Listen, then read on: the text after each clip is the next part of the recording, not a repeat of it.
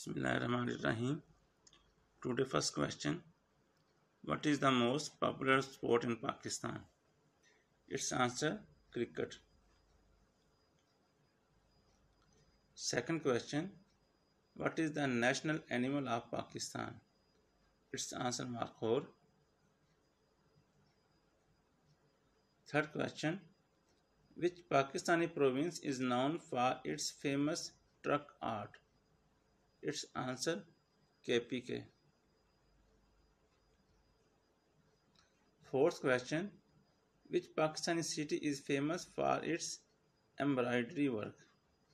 Its answer Multan.